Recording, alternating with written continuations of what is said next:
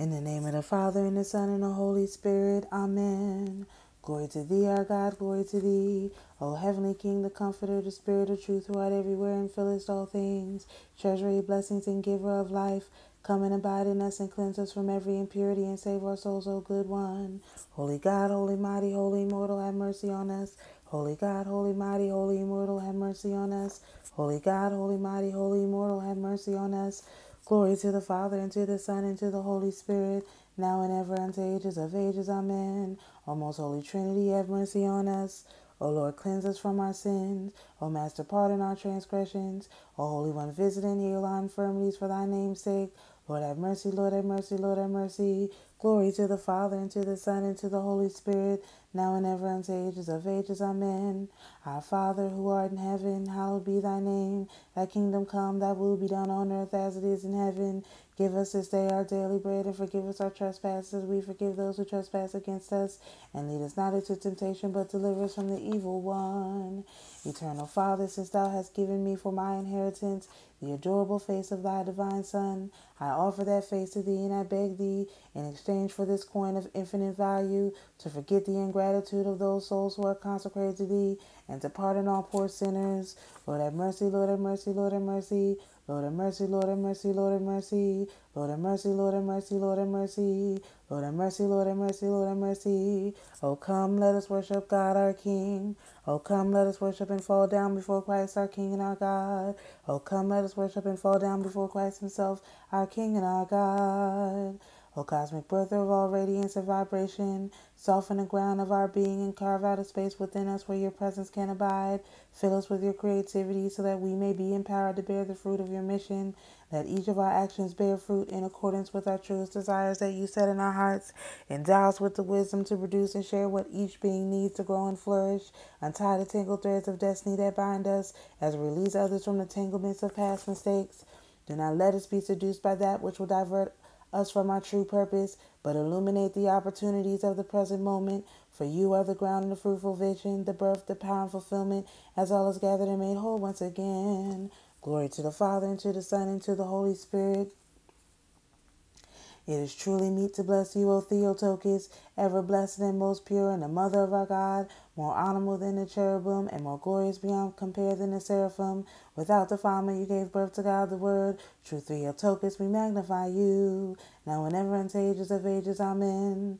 O glorious Virgin and Martyr, beloved of God, Saint Philomena, I rejoice with thee in the power which God gave thee for the glory of his name, for the edification of his church, and to reward the merits of thy life and death.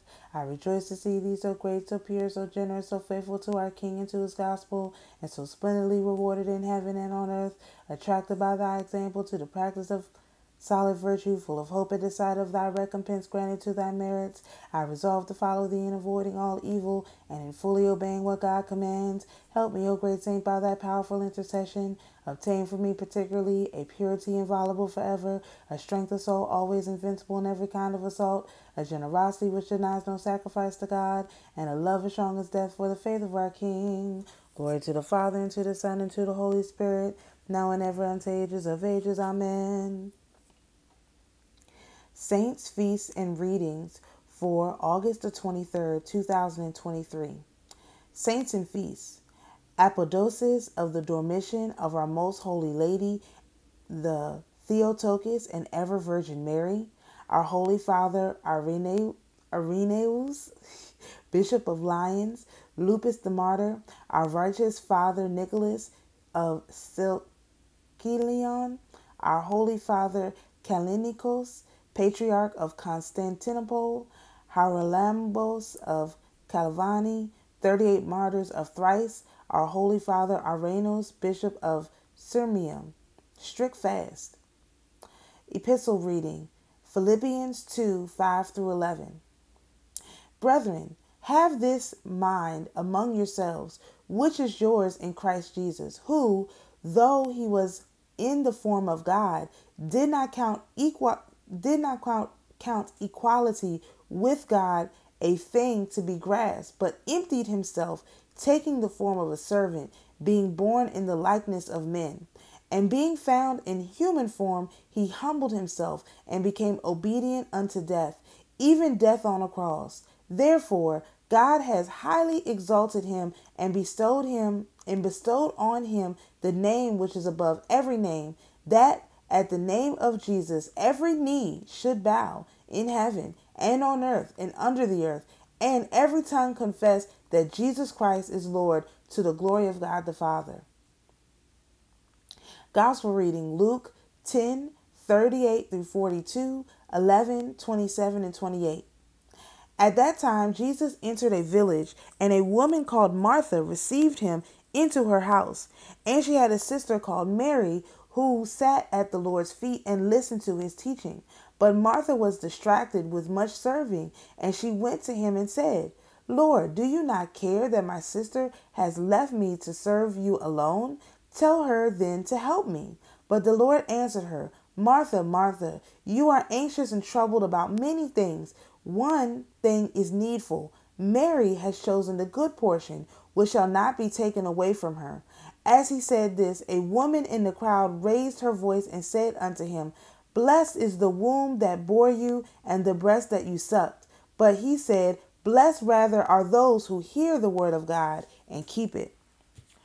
Glory to the Father, and to the Son, and to the Holy Spirit.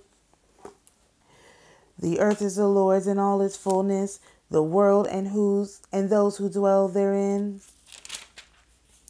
For he has founded it upon the seas and established it upon the waters. Who may ascend into the hill of the Lord, or who may stand in his holy place?